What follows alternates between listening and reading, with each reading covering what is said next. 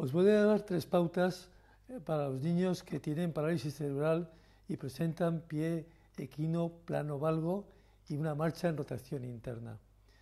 La primera pauta es evidente hacer fisioterapia y esto se puede realizar mediante métodos como el BOBAT en los cuales se, se realiza la estimulación, la inhibición y la facilitación de los reflejos.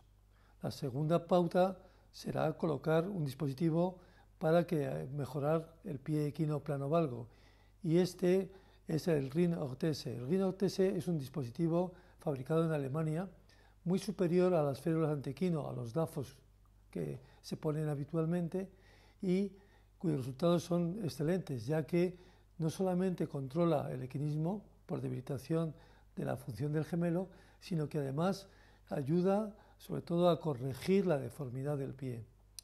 La tercera será utilizar un teratog.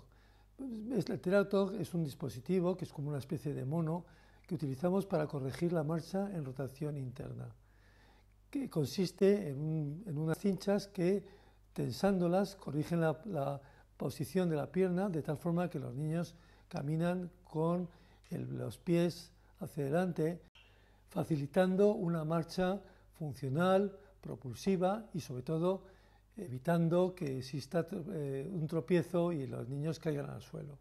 Con estas tres pautas, los niños con parálisis cerebral pueden mejorar notablemente su capacidad de caminar y hacer que su vida sea mucho más normal.